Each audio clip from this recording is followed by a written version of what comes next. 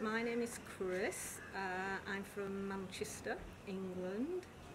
I'm 62 and came here to Sampoorna for a challenge to myself, physically and mentally. Never practiced Ashtanga before. A little vinyasa.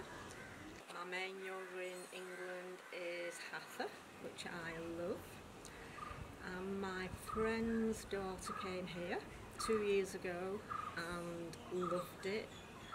I'm on the 200 hour teacher training and Ashtanga and Vinyasa.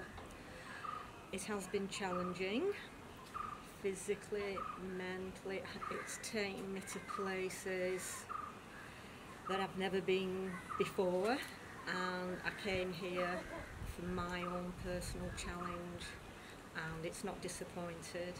The food's amazing, the staff are delightful, nothing's too much trouble,